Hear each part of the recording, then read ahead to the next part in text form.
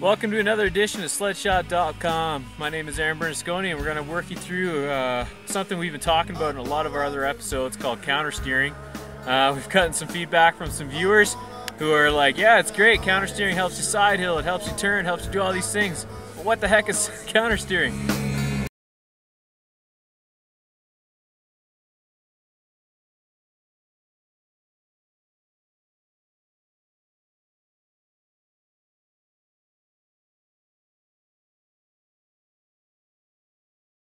over is just the basic maneuvers of uh, counter steering. We're going to talk about weight transfer, how much throttle to give it, some really beginner techniques to try before you get into a side hill situation or a downhill steering situation.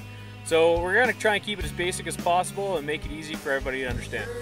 So some of the things we're going to be talking about today is how much throttle to give it when you're in a counter steer situation, as well as bars, what bar position you should be in, and where your weight should be. And weight, I always mean hips, lower body, and uh, generally, there's a lot of uh, a lot of people tend to lean. And we're gonna actually try and get into the lean maneuvers today. Uh, so first things first, what we're gonna start off with is a nice consistent throttle. We're gonna do like quarter throttle, go nice and slow, get our weight over to one side and do a little bit of counter steering to initiate a turn.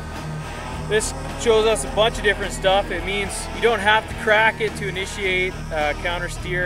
It, uh, it, can help in certain, certain situations, but we're gonna go with a nice consistent throttle, get our weight over, a little bit of counter steering, which is turning your skis in the opposite direction that you wanna turn. So we're gonna start with a left-hand turn,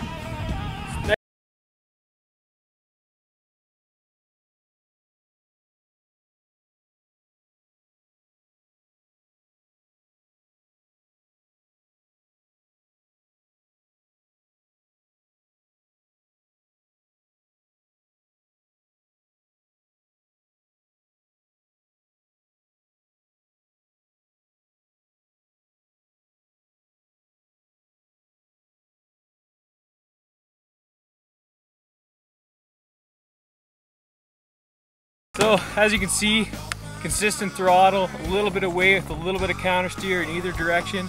Gets the machine over on its side, just off axis. And from there, it's a balance move to considering where your anchor is, which is the back of your ski. So the back of your ski is gonna act like your anchor. The more you turn it, the more you counter steer, the more your weight's gonna transfer and you're gonna flop over.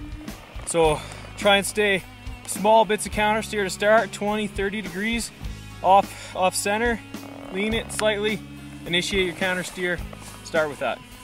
So some of the different things we've learned so far is counter steering, or with counter steering, is transfer weight, throttle response, and ski direction. So uh, what we're gonna try and do, this is a great location for it, nice and flat. We have a good eight inches of snow, that's fresh. Acts as a little bit of a cushion for our skis. The harder the snow is, the harder it is to counter steer. The softer, the deeper, the easier it is, the funnier, the more fun it is, and uh, makes it a little bit more exciting. So what we're gonna do is we're gonna start off in the distance here. We're gonna make a few really nice, mellow counter steer turns. And then as we come a little closer to you, we'll show you what you can do with a little bit more aggressive, a little bit more throttle, throttle response. Coming into the turn, we'll give it a little bit more gas, which gets the track spinning and kind of sliding out towards the side. And then as we get closer, a little deeper, we'll show you a few different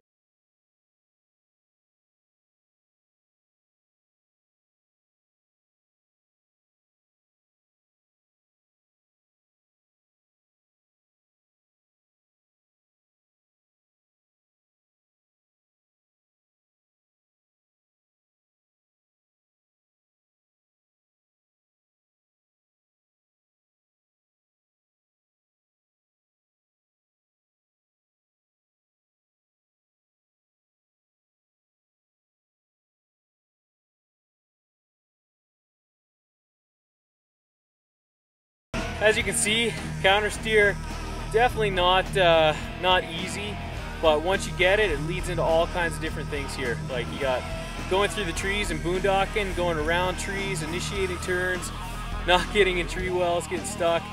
It allows you for downhill turns, keeps your momentum in the right direction. You can go around anything you need to going downhill to avoid hitting rocks, hitting trees, whatever. Uh, makes a field like this a ton of fun. If you're a uh, bad light day and you need something to do and you're too uh, too dangerous to go up into the alpine, make something like this blast. Uh, as you can see, takes some time to learn, but uh, I mean, make sure it's part of your day, learning this kind of stuff. It uh, will make you a better sledder in the end. It kind of takes you out of that beginner status. Thank you very much for tuning in to another riding tip for sledshot.com. We'd just like to thank our sponsors, FXR Racing, and of course sledshot.com for making this happen. Uh, give it a try, have some fun, see you out there.